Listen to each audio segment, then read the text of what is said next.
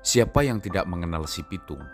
Sebuah nama yang kerap menjadi fenomena, tidak hanya di kalangan sejarawan, namun juga di jagat persilatan.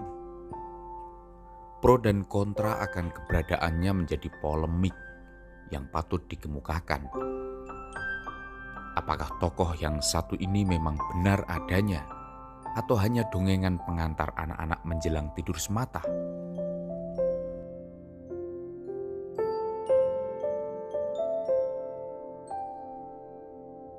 Alhamdulillah pada kesempatan kali ini saya berada di sisi kanan kiri dari pusara Sipitung di Jakarta Barat.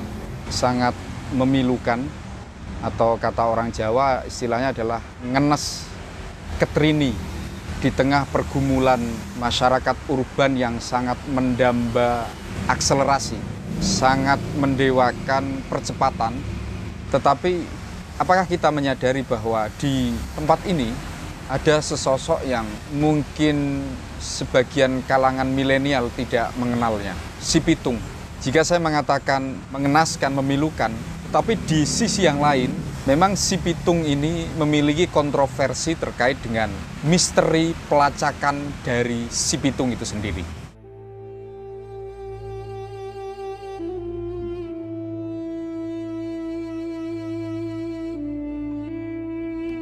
Dari beberapa cerita epos rakyat Betawi, hanya tokoh dengan nama Si Pitunglah yang masih diselimuti oleh misteri.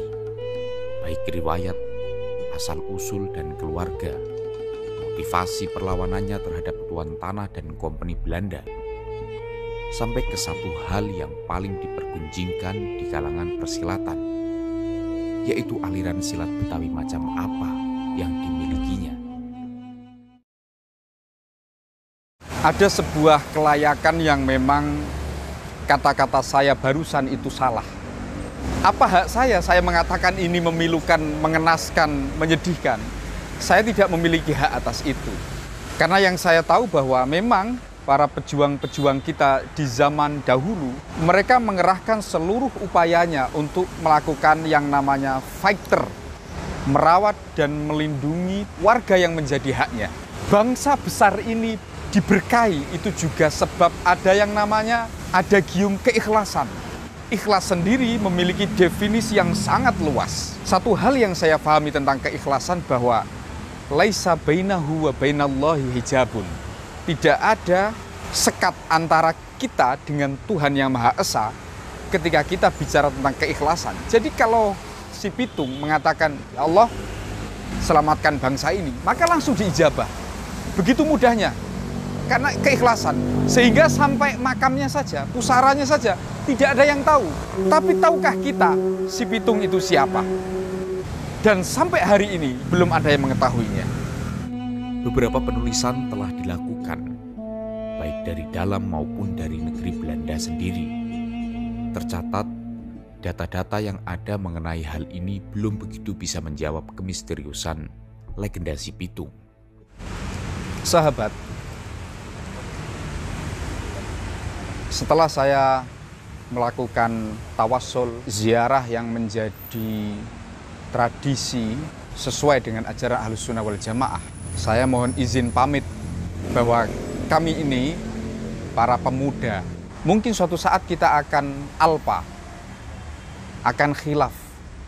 Namun dengan mengkorek kembali sejarah leluhur kita, kita jadi tahu bahwa apa yang kita lakukan hari ini benar atau salah.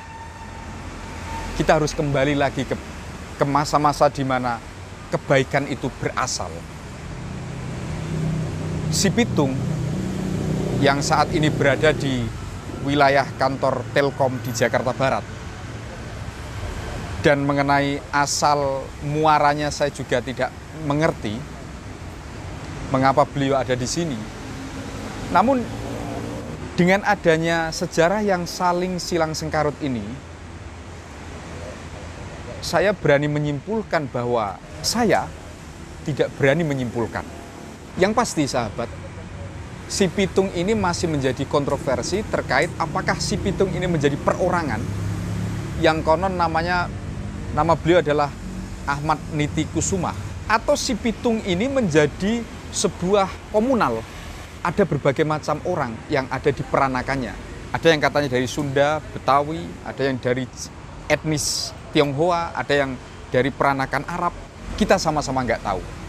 Maka kesimpulan dari Plesir Nusantara merupakan rangkaian dari Jakarta Undercover mencoba untuk mengupas dan mengekspos berbagai macam sejarah dan sisi religiusitas di Jakarta ini, maka kesimpulannya jelas. Saya tidak berani menyimpulkan. Nantikan di Plesir Nusantara selanjutnya. Assalamualaikum warahmatullahi wabarakatuh.